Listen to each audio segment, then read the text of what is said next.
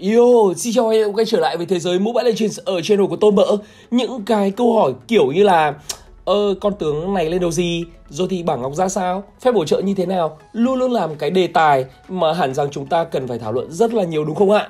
Đây cũng chính là cái trở ngại để mà anh em cũng như là bản thân mỡ cái giai đoạn mới chơi Mobile Legends ra tiếp cận đến một cái vị tướng mới bởi vì không những phải tiếp cận đến bộ skill của cái vị tướng đó, chúng ta đa phần là còn phải biết xem rằng là cái hướng lên đồ của chúng ta ở cái vị tướng đấy.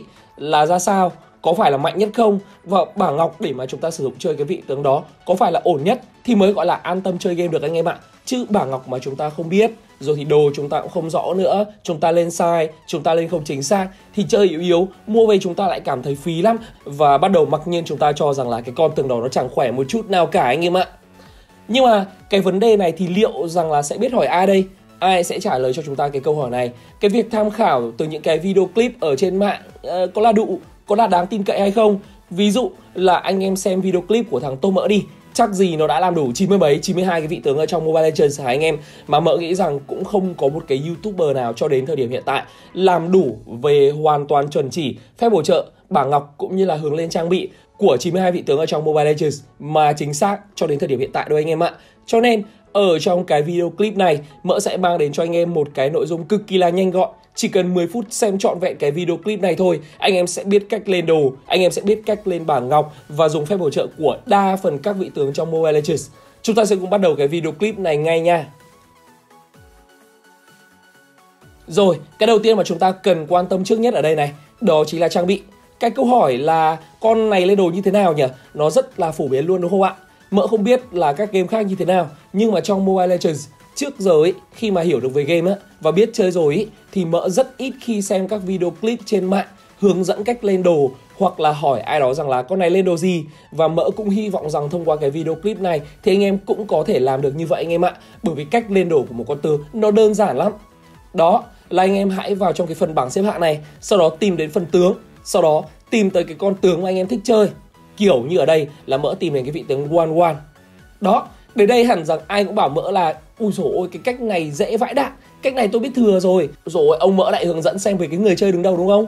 Đúng, chính xác anh em ạ. Nhưng mà chưa đủ bởi vì đôi khi những cái người chơi đứng đầu ấy họ lên đồ tùy tình huống hoặc họ lên đồ là đồ trôn nữa. Kiểu có trận gặp nhiều tanh á thì họ lên súng độ năng xuyên giáp à, để đánh tanh này. Có trận họ gặp nhiều sốc đam quá thì họ lại lên đồ thủ kiểu như là lên đôi cánh nữ hoàng này. Cho nên ở cái bảng xếp hạng tướng á cái quan trọng nhất là chúng ta sẽ phải tìm ra trang bị chính cái core item của một con tướng. Ví dụ nhá ở con quan quan của anh chàng youtuber mobile J này mỡ có click vào xem trang bị á thì chúng ta sẽ thấy cái set trang bị như sau. Ok này dây cuống nộ này lưỡi hái ăn mòn này dao xuyên thấu này vân vân mây mây. Rồi ok ok xong. Việc tiếp theo của chúng ta đó là sẽ tham khảo cái ông thứ hai ha. Rồi ông này cũng à, dày này lưỡi hái này kiếm diệt quỷ này vân vân. Xong ok next. Tiếp đến ông thứ ba này. Đó anh em đã thấy mình có tìm ra được cái gì không ạ? Đó chính là cả ba cái người chơi thuộc top 1, 2, 3 này đều có cho mình ba cái gọi là cái core item cái trang bị chính của một con one one đó chính là cái dây cuồng nộ tăng tốc đánh rồi thì cái lưỡi hái ăn mòn tiếp theo và sau đó là cái kiếm diệt quỷ đây chính là ba cái món trang bị core item của một cái vị tướng xạ thủ Wan Wan. đây chỉ là cái ngưỡng sức mạnh của con Wan Wan anh em ạ các cái món còn lại đều là các món đồ tùy tình huống hết bởi vì những cái món còn lại thì cả ba người chơi top 123 này có trận thì họ lên thế này, có trận thì họ lên thế kia. Và thông thường ở một cái con tướng cần đam hoặc là cần tanh á thì ba món đồ đã là quá ổn rồi anh em ạ. Ba cái trang bị còn lại sẽ là trang bị tùy theo diễn biến của trận đấu mà thôi.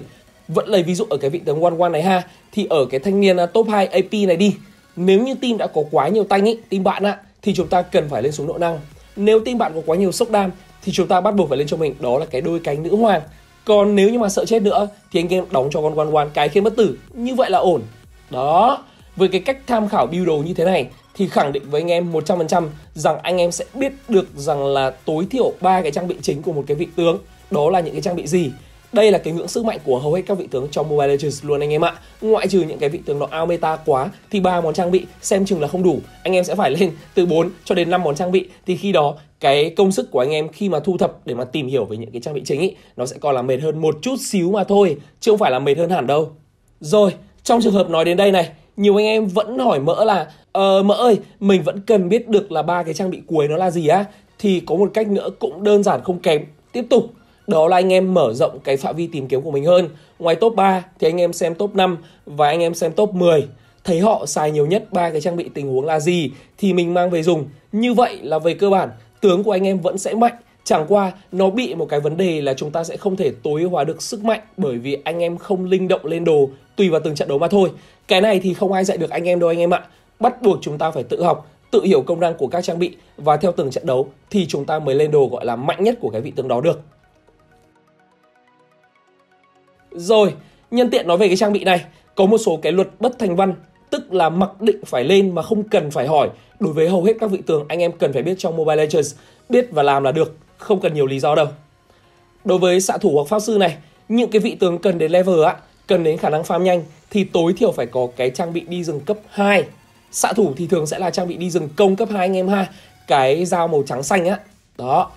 Còn đối với pháp sư, xạ thủ thường là những cái chất tướng đánh theo kiểu áp sát hoặc không thì là máu giấy, thì anh em cần phải lên trang bị đi rừng thủ cấp 2 đối với cái vai trò đấu sĩ thì anh em lên đồ công hay đồ thủ đi rừng ý, cái nào cũng được. Do đó anh em có thể thấy mấy cái video clip mà mỡ làm bên dưới cái set trang bị của những cái vị tướng như kiểu sát thủ, pháp sư hay là xạ thủ ý, thì mỡ toàn ghi rất rõ là lên giao thợ săn hoặc là lên giao đồ thủ trước để mà farm nhanh.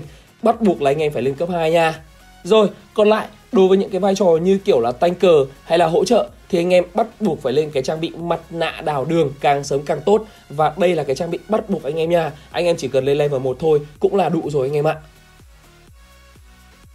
Ok, đó là về trang bị này. Tướng nào cũng thế thôi anh em ạ. Rồi, giờ chúng ta sẽ tới cái thứ hai Đó là cái bảng ngọc. Bảng ngọc thì rất đơn giản. Anh em cũng tham khảo theo cái cách mà chúng ta tham khảo trang bị ở bên trên. Anh em cứ sub soi của các pro player Xem họ dùng bảng ngọc gì là được. Nhưng lưu ý, Bảng Ngọc thì chúng ta hãy xem cả top 10 người chơi đứng đầu ở cái vị tướng đó anh em ha, Để mà chúng ta có được cái góc nhìn tổng quan nhất Bởi bảng Ngọc nó khá là đa dạng anh em ạ rồi, bảng ngọc thì cũng vào phần trang bị mà xem thôi. Ví dụ như là cái bảng ngọc của cái vị tướng Wan Wan, Mỡ cũng sử dụng như anh chàng Mobile J này. Vì sao? Vì Wan Wan có cái phải phá 4 điểm yếu ở bốn hướng đúng không ạ? Thì cái điểm tài năng truy tìm điểm yếu ở cái bảng ngọc xạ thủ ấy Nó sẽ có tác dụng hên xui làm chậm mục tiêu Để mà Wan Wan có thể dễ dàng áp sát và gây ra thương cũng như đổi góc để mà bắn để mà phá những cái điểm yếu còn lại. Đó đơn giản là như vậy thôi. Chúng ta mà hiểu được về cái bảng ngọc ạ, là chúng ta biết cách lên bảng ngọc nào cho cái vị tướng nào nó rất dễ dàng và đơn giản luôn. Thời gian đầu ý học như vậy là anh em đã nắm được đến 80% về set trang bị bảng ngọc của tướng rồi đã dần ra chơi nhiều giỏi hơn hiểu được đồ ổn hơn chúng ta sẽ có thêm những cái điều chỉnh khác sao cho phù hợp với lối chơi của chúng ta cũng như là tùy vào tình huống của trận đấu thì đó chính là 20 cái phần trăm sức mạnh còn lại đến từ bảng ngọc và cuối cùng đó là trang bị xong rồi này, bảng ngọc xong rồi này, giờ là phép bổ trợ đúng không ạ? Ơ, thế lại cũng xem các pro sai gì hả? Ừ cũng đúng mà anh em, nhưng mà chưa đủ. Vì phép bổ trợ ở meta hiện tại nó chỉ quanh quẩn một số cái phép mà thôi Cho nên mỡ hoàn toàn có thể chia sẻ với anh em một cái quy luật chung mà chúng ta có thể sử dụng phép bổ trợ cho mọi vai trò trong Mobile Legends Cụ thể là như sau Đầu tiên, đối với tanker đỡ đòn chịu sát thương đúng không? Đây thường là cái vai trò lao lên để mà hứng chịu sát thương Cũng như là đi đầu chiến tuyến cho nên cái vai trò này thường sẽ sử dụng cái phép bổ trợ suối sinh lực để mà lì đòn hơn, cứng hơn trong giao tranh cũng như là có thể bảo kê và hồi cho đồng đội một chút máu. Ngoài ra, có thể cân nhắc xài đến tốc biến cũng như là thậm chí hỏa tiễn để mà phá đi các kỹ năng cần thời gian dùng của kẻ địch, kiểu như là cái chiêu cuối của cái vị tướng Lolita. Cái thứ hai này, đối với xạ thủ thì anh em ưu tiên lấy tốc biến.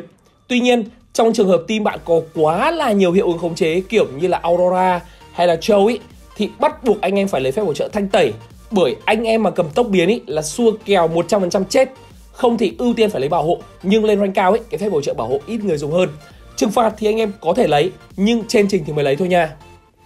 Đối với hai vai trò đó là pháp sư và sát thủ đam vật lý cũng như là đam phép thì chúng ta ưu tiên lên phép hỗ trợ trừng phạt bởi đa phần những cái vị tướng này đều có khả năng áp sát cũng như là tẩu thoát cho riêng nó rồi.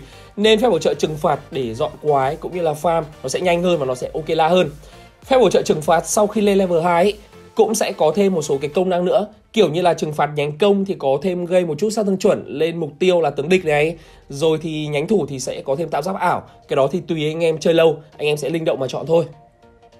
Ở meta hiện tại ấy, thì phép bổ trợ hỏa tiễn đang khá là tịnh hành. Cho nên đối với những cái vị tướng pháp sư hay là sát thủ lên cái phép bổ trợ hỏa tiễn này nó vẫn rất là ok là anh em ạ. Bởi vì nó vừa có hiệu ứng đẩy lùi vừa có đam mà hồi chiêu lại cực kỳ là nhanh luôn. Cho nên nếu như mà anh em chọn được một cho nên nếu như mà anh em chơi những cái vị tướng pháp sư tầm xa kiểu như là hàng Nga hay Lilia mà anh em chọn được vị trí ổn á anh em hoàn toàn có thể xài phép bổ trợ này cũng rất là ok là. Thứ tư này, đối với những cái vai trò tường đấu sĩ có thể cân nhắc tới phép bổ trợ tốc biến, di chuyển, tốc hành, những cái phép bổ trợ cho khả năng áp sát cũng như là tạo đột biến hoặc là tẩu thoát. Và cuối cùng là vai trò hỗ trợ, thường là tốc biến, ở suối sinh lực cũng như là phép bổ trợ hỏa tiễn. Như vậy là ổn anh em ạ. Đó, anh em thấy có gì phức tạp không ạ?